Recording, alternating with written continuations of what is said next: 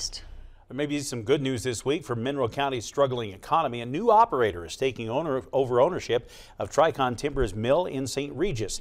The mill is one of a handful still operating in the once thriving timber industry in western Montana, but keeping the stud mill going has been a challenge in recent years as Tricon has struggled against a number of market forces such as Canadian lumber imports and a drop in available wood supply.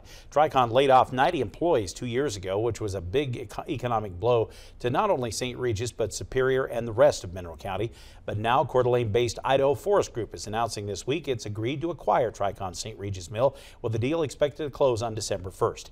In a statement posted on the company's website, Idaho Forest Group Vice President of Sales and Marketing says the acquisition supports our continued growth and would be an excellent strategic addition to our existing operations in northern Idaho.